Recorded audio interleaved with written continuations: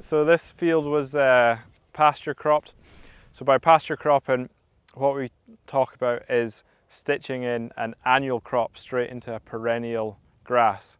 So this was in March, this was bale grazed, and then we moved, moved, went in the next day and direct drilled in oats and uh, brassica, barley. Uh, there's some vetch in here, just sort of a wee cocktail mix. So what's exciting about this is this field itself is sort of your traditional ryegrass clover mix, where it's rather shallow rooting roots. And then when you think about how, how tall these oats have grown up, because they're sort of a metre-ish high, then you see, you're seeing the exact same thing below the ground, sort of mirroring it. So that's going to get a lot of carbon, carbon down the way and minerals coming back up the way in the form of animal feed. So we're going to we'll do a wee test dig, see how see what's going on. So we've got sort of a block of oats here and uh, vetch, token vetch plant.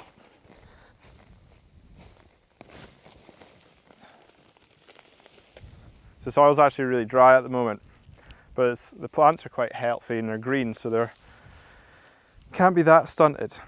But you can see how you can see the roots, how how deep the oats are getting down, which uh, we wouldn't necessarily get.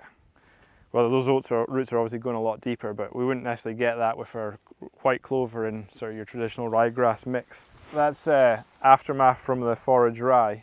That was bale grazed by the cows, and we've drilled straight into it with the disc drill and uh, here's our stubble turnip that was in with the oats. We've actually found we've tried to drill oats in the past that a lot of charlock comes up through the crop as if it's like a natural companion crop. So that's where we got the idea of drilling brassicas in with the oats because in, in, nature that's what we, we learned a couple of years ago when we are trying to grow oats. Well there's all this brassica or a family of the brassicas coming up. And then we've got some vetch, which is, where's it gone? Thanks, Bob. So we've got vetch here, so that's nitrogen fixing legume. So it seems to have, have, worked really well in our soils. It grows naturally in the verges. So I think because it's growing in the verges, then it should grow well in our climate and in our soils. So we might be able to see the nodes on the vetch to see nitrogen getting pumped back into the ground yeah, so you can you can see there. There's these little round nodes on the roots. So that's the nitrogen fixing uh, points. So we are planning on using this for whole crop silage. So it should be quite a good uh, good mix, good food for the yearlings in the in the winter time.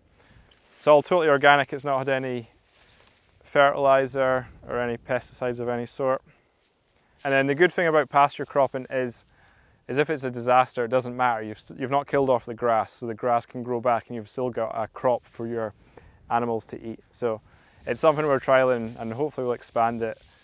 Uh, hopefully we'll make it more successful and expand it out across the whole farm or, or some of the better fields anyway.